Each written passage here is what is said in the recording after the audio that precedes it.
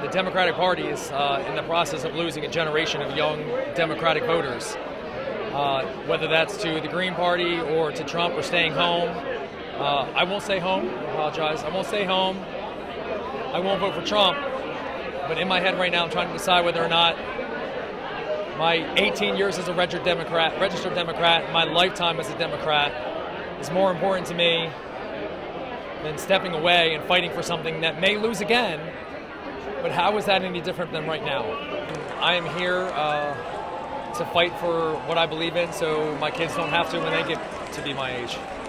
It was a grassroots effort uh, called the Coalition of 57 uh, that was made up of, or at least the goal was to uh, have it made up of two grassroots whips from each Bernie delegation from all 57 states and territories involved in the primary process. Uh, yesterday, uh, when there was a lot of scream, a lot of I guess booing, and uh, things kind of seemed like they were getting out of hand. We were a lot of the reason uh, why silence came after that. We decided to uh, contact each other through our whips, reach out to the delegations, and uh, try to tell them to save their voices for tonight and use silence as our weapon yesterday.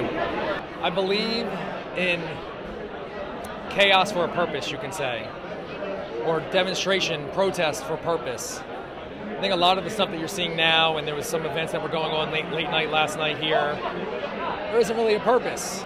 So we need to gather, we need to regroup, we need to focus on now what do we fight for moving forward. That's my thought over the last couple of days is if we don't have a candidate to fight for, we need to remind ourselves about the ideas that, let, that drove us to him and that it was the ideas that were really driving us the whole time, not the man.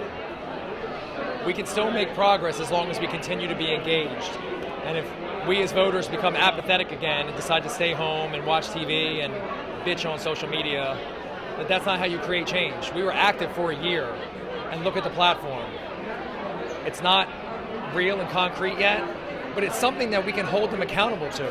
And if we can do that, then we can get change. But if we walk away, then Hillary goes back to the center, the Democratic Party goes back to the center, and all the platforms we fought so hard for disappear.